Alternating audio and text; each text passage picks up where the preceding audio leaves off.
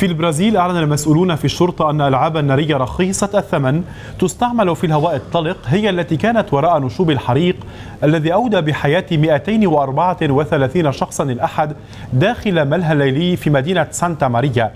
وتحدثت الشرطة أيضا عن عوامل إضافية ساهمت في المأساة كسوء الإنارة وسوء الإجراءات الأمنية وطلاء الجدران والسقف القابل للاحتراق وأجهزة الإطفاء غير الصالحة الصلاحية وأعلنت عدة مدن فرض قيود صارمة على النوادي الليلية.